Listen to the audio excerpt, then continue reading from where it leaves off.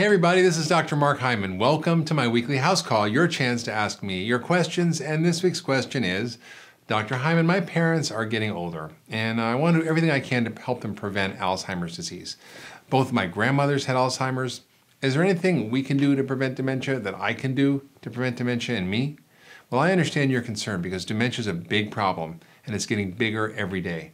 10% of 65 year olds, 25% of 75 year olds, and 50% of 85 year olds will get dementia or Alzheimer's disease. And this 85 year old group is the fastest growing segment of the population.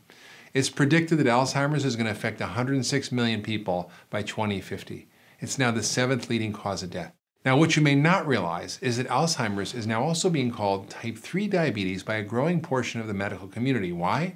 Well, new research has proven that insulin resistance, what I call diabesity, which from eating too much carbs and not enough fat, is a major factor in starting the cascade of brain damage that robs the memory of over half the people in their 80s, leading to a diagnosis of Alzheimer's disease.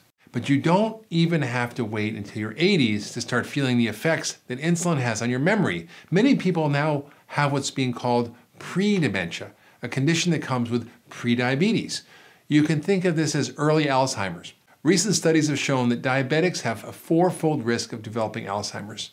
And patients with prediabetes or metabolic syndrome have a dramatically increased risk of having pre-dementia or what we call MCI, mild cognitive impairment. You don't have to have diabetes to have brain damage and memory loss from high insulin levels and from insulin resistance. Having prediabetes can give you pre-dementia. Now, most doctors today still don't realize how deeply connected the brain and the body actually are. In fact, they're not two separate systems, they're one elegant, continuous ecosystem.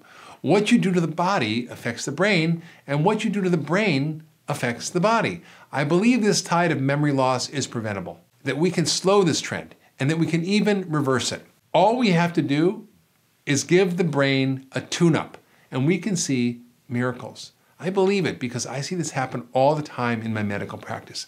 When I put people on the blood sugar solution or the 10 day detox diet or the program in my new book, Eat Fat, Get Thin, their memory, their mood, and their well being often dramatically improve.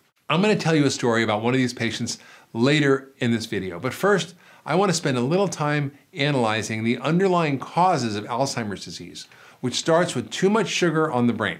Now, this is how the cycle goes. Over-consuming sugar and not eating enough fat leads to diabetes. Diabetes leads to inflammation. Inflammation leads to further insulin resistance and more weight gain, which leads to more inflammation. And this systemic inflammation eventually affects the brain. Now, when we look at an autopsy of Alzheimer's brains, what we see is a brain on fire. The inflammation story is repeated over and over again in all chronic disease, and dramatically so in the aging brain and in aging in general. The good news is that reversing this process is possible, and it's not particularly difficult. You just have to control your insulin and balance your blood sugar. Doing this is critical not only for overcoming diabetes, but also for balancing your mood, helping your focus, helping boost your energy, and preventing all the age-related brain diseases such as Alzheimer's. Now let me tell you about a patient named George. Now George and his wife came to see me because he could no longer manage his business affairs. He had become increasingly unable to function at home, and he had to withdraw from family and social relationships. He was desperate as he was feeling himself slipping away. We found that George had high levels of mercury, and we helped him detoxify the mercury with foods like kale and watercress, cilantro, and herbs like milk thistle, nutrients like selenium and zinc, and medications that helped him overcome his genetic difficulties by getting rid of toxins like mercury. We optimized his cholesterol with diet and with herbs, and we lowered his homocysteine, which comes from folic acid deficiency with high doses of folate and B6 and B12. In fact, when people have high homocysteine, they have a dramatically higher risk of having Alzheimer's. And what happened was really impressive. After a year of aggressive therapy that was matched to his genes and his unique metabolism and his biochemistry, not his diagnosis, he had a remarkable and dramatic recovery. Before I saw him, he couldn't manage his business, nor did his grandchildren want to be around him. But after matching his treatment to his genes and optimizing his biology, he was able to function again. And his grandchildren loved being with him.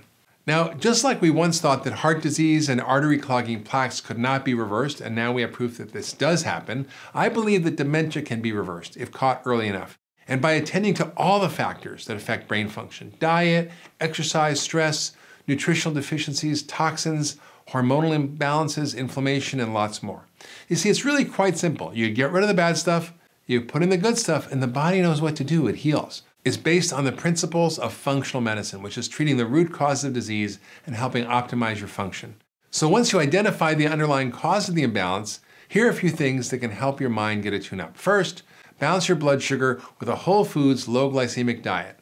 And eat foods that make your brain happy, like healthy fats, omega 3 fats, wild fatty fish, coconut oil, extra virgin olive oil, nuts, and seeds. And then exercise daily. Even a 30 minute walk can help. And also relax daily with yoga, meditation, biofeedback, or just deep breathing. And take a multivitamin and mineral supplement, take an omega 3 fat supplement, take extra B6, B12, and folate.